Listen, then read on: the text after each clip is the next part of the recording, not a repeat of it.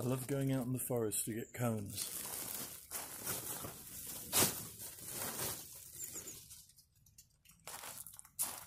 I feel they're really helpful in fire lighting, but I've always thought it must be possible to improve them. So today's video is about cones and how to improve them.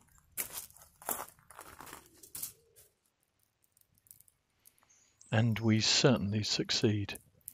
The results are spectacular.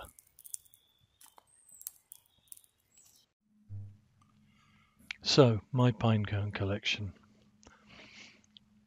I tend to collect an awful lot when they're closed because I get more in my rucksack. Uh, when they open, they take about twice as much space.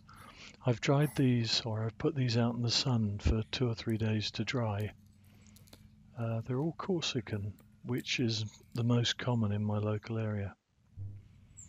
After two or three days, or maybe one hot day, they're all open and ready for use. Really beautiful. And in the bin next to these is a load of beech sticks. We've had three gales recently and fallen be- this isn't cones I know but it's just brilliant to go with the cones um, really hard really dry lovely lovely kindling wood and you can tell if it's dry by the noise. Listen to this.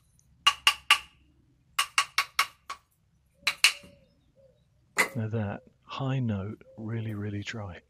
Anyway onto cones. Somebody asked me the other day what cones actually are. I said they're fruit. Like you get nuts on hazel bushes, cones are the fruit of conifers, apples, fruit of apple trees. Some of the cones are really small, like these western hemlock, really small, no use for fire lighting, but really good for decoration. A little bit like these larch. You could use them in fires, I never have, but really, really good on a Christmas wreath or something. That's a European larch, and that's a Japanese larch probably. Next we've got some spruce cones. A neighbour brought these round. I actually don't know what these are yet. They're like giant Sitka spruce, but the foliage was soft. These are actually Sitka spruce. Really, really common in many parts of Britain. Papery little things probably would work in the fire, and of course, with fire making, often you just have to work with what you've got. I've got plenty of these as well. This is Norway spruce. Huge cone, quite tough. I've used them in fires, but I've never tried to soup them up. I think as long as I've got pine, why would I bother? Just for the record, these are Douglas. You can always tell they've got like these little snake tongues coming out between the scales. This is Douglas fir. And now, pine. In the foreground, Scots pine, in the background Corsican pine. There really isn't much a difference between them. Just Scots pine tend to be smaller and the Corsican tend to be a bit bigger and slightly more rounded look to them. When a neighbour heard that I was making this film, he brought three more for me. This is a Weymouth pine. I've never actually seen one of these, but would quite like a basket of them to play with. This is a beauty. This is what's commonly called radiata. I think that's Monterey pine. And then this one, really, really beefy, is a stone pine. Obviously making a fire you'd only need one of these.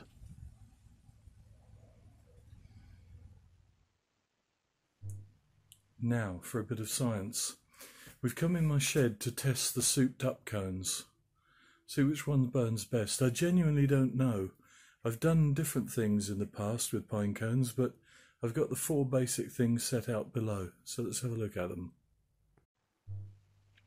Firstly, we've got a pine cone soaked in sunflower oil. That's old cooking oil. Next, I dripped candle wax all over this one.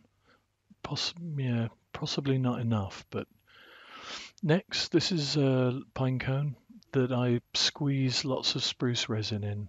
So natural spruce resin in that one. And lastly, my favorite, it's sort of twirled up with birch bark. Okay. You'll see that the cooking oil was quite difficult to light. More difficult than I thought, and I think perhaps I didn't make a very good job of the candle wax cone because that too was difficult to light. And it really shouldn't have been. I'm also aware that my science is a bit poor here in that I should have had a control. I should have had a cone with nothing on it, but since I'm talking about souped up cones, perhaps I didn't need a control. The spruce resin was really slow to get going, and to start with I was quite disappointed with that. You see the candle wax not doing very well, and the birch bark as ever just spectacular. Fantastic stuff, really easy to catch and a brilliant flame. So I don't think I was being fair on the candle wax, so relit that one.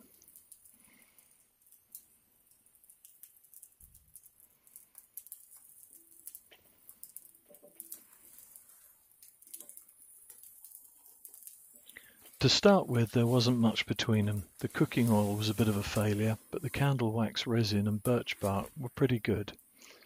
However, after a while it really was only the resin and bark that was still going and hot, hot enough to get a good top-down fire going. The other thing I noticed was that the scent from the spruce resin and the birch bark was beautiful. The cooking oil smell of chips and the candle wax didn't smell of, smell of anything. Anyway, I was so impressed with the experiment that I headed off out into a Christmas tree plantation to gather some resin because having found that in fact the birch bark and the resin were neck and neck what was pretty obvious is if I combined the birch bark for ease of lighting with the resin for longevity then I really really would have super cones.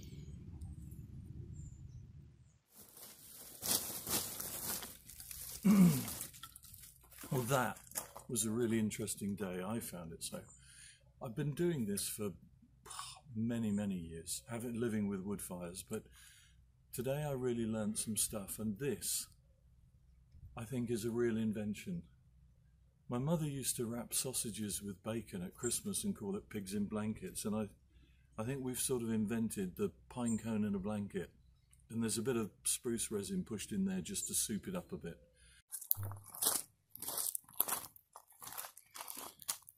I've always loved using pine cones in fire making. but now I've learnt to make these, I'll be using these super cones all the time. Anyway, I hope you really enjoy living with wood fires, enjoy doing things like this, and have a good winter.